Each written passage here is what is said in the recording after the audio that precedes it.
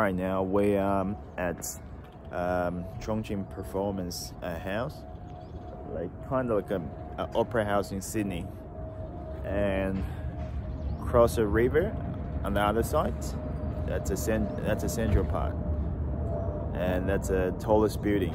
Um, last time we uh, the day before we were I was there and behind me there that's a financial center there. So we've got all the high rises there. So we're gonna move up to the to take a closer look